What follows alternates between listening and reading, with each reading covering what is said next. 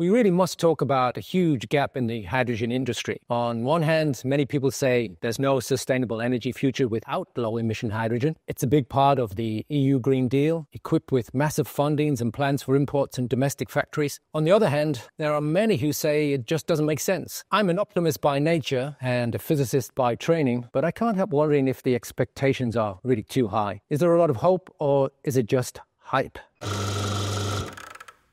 Hello and welcome to a new episode of Minus 253 Degrees Celsius, the monthly expert talk that gets to the point, to the boiling point of hydrogen. To help clear up some of the issues that are on our mind, I invited Matthias Ziebell from Bosch. Matthias is Senior Vice President for Sales, Energy Markets and Business Development. Hello, Matthias. It's a pleasure to have you here. Thank you for the invitation. So, Matthias, let's get straight to the first point. Most of the hydrogen we use today is currently being produced from fossil fuels, such as coal and natural gas. Is that correct? Yes, that's correct. There are studies out there, they say in 2030, the installed capacity of electrolyzers will be between 160 gigawatt and more than 200. But in reality, what you find today is the uh, amount of one gigawatt installed electrolyzer capacity. But if the production is so low, what makes green hydrogen such a strong candidate for our future energy requirements? I think we all know we have to uh, reduce CO2 emissions worldwide, and uh, we do a lot to reduce emissions on the electricity side, on the production of electricity. So we have there electrons. But on the other side, we use a lot of molecules, yeah, like in my car or like in the industry. For example, heat my house with natural gas. So these are molecules. We have to do something on the molecule side. And therefore, hydrogen is a super green or clean energy carrier. Now, you mentioned gas, and uh, many experts argue that hydrogen cannot replace natural gas. For example, Germany would demand at least five times more renewable energy than it currently produces to replace its use of natural gas by green hydrogen. That, that doesn't actually sound like a great solution, does it? I'm very uh, optimistic that a big share of the used natural gas, for example, in Germany, can be replaced by green or clean hydrogen. So I see maybe in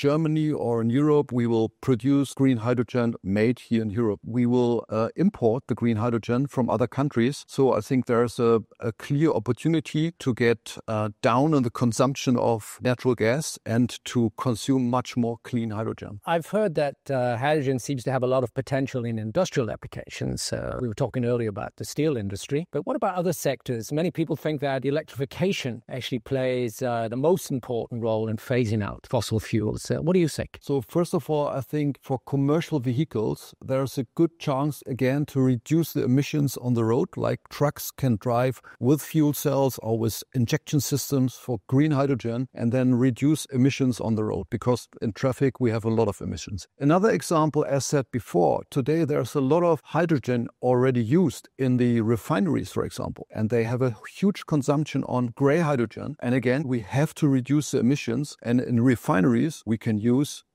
green hydrogen. Everybody talks about 2050. What's your prediction for 2050? In 2050, there's a clear target from the European Union to have approximately 10% of all energy needed coming from green or clean hydrogen. And that sounds like uh, material for one of our next episodes, which I hope you will come and join us again. Thank you, everyone, for joining us. I'm still optimistic. And don't miss our next episode of Minus 253 degrees Celsius. It's the monthly expert talk that gets to the point, the boiling point of hydrogen.